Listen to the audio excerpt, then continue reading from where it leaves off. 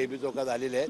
आणि त्यांनी सातत्याने सांगितलेलं आहे राजाविरुद्ध प्रजा लढाई आहे आणि प्रजा जिंकत असते त्याला तेच म्हणायचं होतं. तर ते कालचं जरा वेगळं होतं. नाही नाही मा- आता माझं म्हणणं काय आता परवा ज- जयंत पाटील आले परवा त्यांनी एक सभा घेतली परत आता काल साहेब आले. म्हणजे ह्या अल्पसंख्याक माझ्यासारख्या सामान्य कार्यकर्त्याच्या मागं का लागलेले आहेत?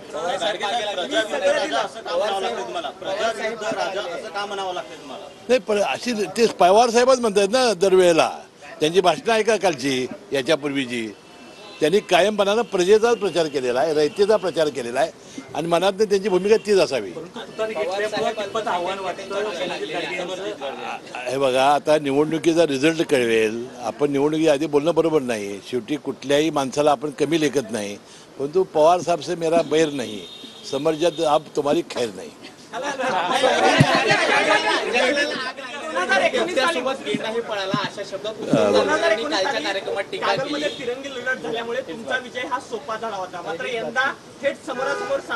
एकूण सहा निवडणुका झालेल्या आहेत. त्यामध्ये एकाच एक तीन वेळा झालेली आहे. एक म्हणजे म्हणजे एक एक.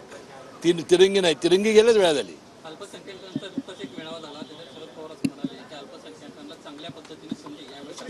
अशा पद्धतीचं व्यक्ती आणि वक्तव्य आणि दुसरीकडे नाही मला त्याबद्दल म्हणायचं नाही. माझं म्हणणं काय आहे, माझं माझं म्हणणं काय आहे? की परवा ते प्रवेश करणार होते जयंत पाटील आले होते सभा झाली होती. पुन्हा साहेब स्वतः काल आले. आता आम्ही काय पंचेचाळीस पन्नासवर गेलेलो आहे ना? आमदार जे पन्नासवर गेले आहेत. मग माझ्यासारख्या सामान्य अल्पसंख्याकाच्या मागे का लागलेत एवढा जोर काय उद्देश हेच मला समजलेलं नाही काय कारण समर्जित यांना ज्या पद्धतीनं घेण्यात नाही, आलेलं मला काय-? कारण मला काय माहिती नाही. सातत्यानं तुमच्यावर टीका साहेब करतात. माझे- ही- हीच- हीच नाही ही त्यांची निवडणूक ही नायक. नायक विरुद्ध खलनायक आहे जयंत पाटील यांनी असं उत्तम उल्लेख जानकर केला आहे यांची की सुद्धा समर्जित टीका यांच्या पाहायला मिळाली संस्था तुमच्यावरती. चांगल्या- जंगलाला चांगल्या- आग लागली नाही मला काय मला काय त्यांचं माहिती नाही. जयंत पाटील यांनी असा उल्लेख केला की समर्जित यांच्या संस्था चांगल्या आहेत. मात्र तुमच्या संस्था ह्या भ्रष्टाचाराने अं, असा उल्लेख जयंत पाटील यांनी नाही केलेलं नाही त्यांनी. जयंत पाटील बोलूच शकत नाहीत. हे संस्थांवर टीका नाही बोलू शकत नाहीत. आपण जर पाहिलं ज्यावेळेस तुमच्यावर कारवाई झाल्या होत्या त्यावेळेस ज्या कुटुंबाने तुमची ज्या पद्धतीने तुमच्या कुटुंबाची फरफड झाली होती संपूर्ण महाराष्ट्रानं पाहिली. कुणी त्यावेळेस कुणी कुणी सोनियाताईंना प्रामुख्याने याच्यावर कुणी कुणी कुणी केली होती? कोण होतं यात? संस्था या मागं कोण होतं? या संदर्भातच सुप्रिया या मागं कोण होतं? म्हणून ही नायक विरुद्ध खलनायक लढाई आहे.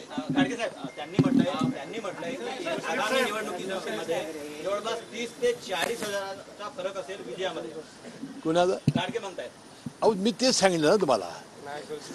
आता किती मताने येईल तर निवडणूक ठरवेल ना? सोबत असणारे काही नेते शरद पवारांच्या भेटी घेत असल्याचं पाहायला मिळाले. के पी पाटील असतील. अहो मी सांगतोय ना जिथं जागा रिक्त आहे तिथं जात आहेत ना सगळेच. पाठिंबा नाही. अब- कुणाला पाठिंबा? मग आता अहो असं कसं असेल? तिकडे जात असतील अहो त्यांना आता निवडणूक लढवायची ना. राष्ट्रवादी अ, शर- अ, अ, अजित पवार गट किंवा अजित पवार यांचा जो पक्ष आहे त्याला फटका बसेल का अशी जी दांडावरची लोक आहेत ती दांड बदलतात त्याच्यावर अहो ते ते कुठं जात आहे ते ज्याला तिकीट मिळणार आहे. तिथं विरोधी तिकीट मिळणार नाही तिथं जात आहेत. एकटा आता गेल्या गेल्या वेळेला सुद्धा आम्ही दोघांच्या समजुता करण्यापर्यंत समजत झाला नाही. ती मेहुण्या पाहुण्यांची जी आहे ती समजुता होण्याच्या पलीकडे आहे. मी तर थकलोलो आहे ती मिटवण्यामध्ये. तुम्ही पाठीवरचा देऊन खाली ठेवला. आमदार राहणार नाही. तुम्हाला मोठी जबाबदारी देण्यात येईल. नाही ते मेजॉरिटी त्याला बहुमत व्हावं लागतं. निवडून यावं लागतं आणि बहुमत व्हावं लागतं. आम्ही आमदारच करणार नाही समर्जितना तर मंत्री पण करू. नाही नाही ते निवडून यावं लागतं आणि बहुमत व्हावं लागतं आणि आणि